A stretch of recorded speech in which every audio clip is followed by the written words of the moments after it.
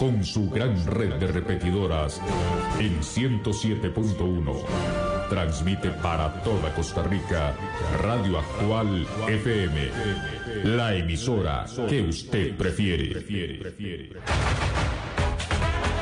Hola amigos, bienvenidos a Faranduleando con el Gordo en los 107.1 FM Radio Actual. Hoy el lunes, día de la parodia de Campeche, con solo llamar Canas Premio y hacemos tu parodia. 30 minutos de alegría y ocurrencias. Ya suena la guitarra, la parodia va a iniciar.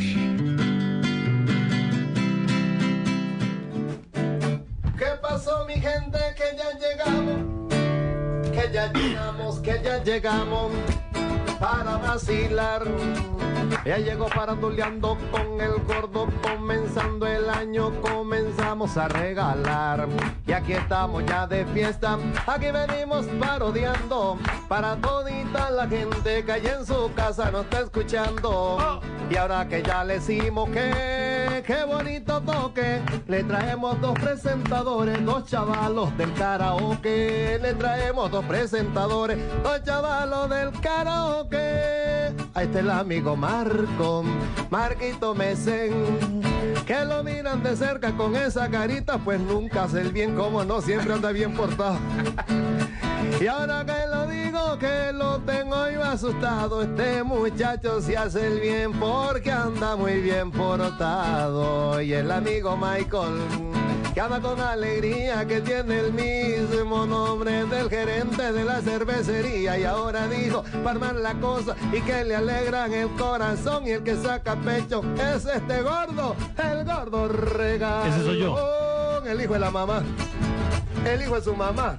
Ay, el hijo de su mamá. Le dijo Socorrito. Que seguimos aquí vacilando, parandoleando con el gordo regalón, llegándole a toda la gente y aquí le armamos el vacilón con estos dos invitados que hoy vamos a entrevistar. Y le van a contar a historia que a ustedes les van a gustar. Y le van a contar a historia que a ustedes les van a gustar. Para toda la gente que nos está escuchando, venimos regalando. Porque todo el tiempo andamos a animado, andamos inspirados, comenzamos el año animado, porque todo el tiempo andamos animados y aunque de vez en cuando la billetera ande palmado, ¿qué vamos a hacer, primo? Y como dijo mi prima Carla, por siempre hay que rebuscarla, ¿qué vamos a hacer? Me siento solo, me dejó la mujer, que si arme el vacilón, se fue la condenada y me clavó la pensión, ¿y ahora qué hago?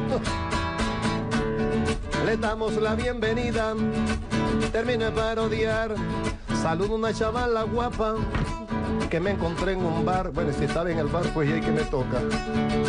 Como quien dice, qué buena ficha, primo, y ahí de regalado hasta caer mareado, como quiera.